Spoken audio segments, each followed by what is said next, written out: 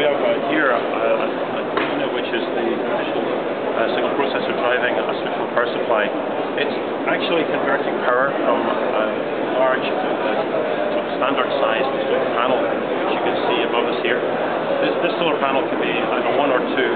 Each of these can generate about 250 watts of power with full sunlight. Uh, what we're sitting here, we don't have a limit here, so we're just using a power supply to show it running, otherwise you would have a very small amount of current. And we can show that it can take in two of these in series, convert it uh, to AC power, which can be up to 240 volts or 110 volts, depending on the country you're in. It can also charge a lead acid battery as well, so that you can store the power.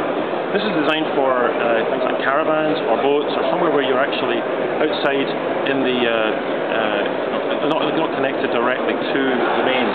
However, it does allow uh, independent power um, when you're travelling, and, uh, and it's a good example. Uh, this, this will actually have about 90% efficiency. Uh, we are uh, able to then generate very efficiently power um, from this device. And the, the core of this device, and the, and the, the clever part, is a, a tiny chip called the 56F8023.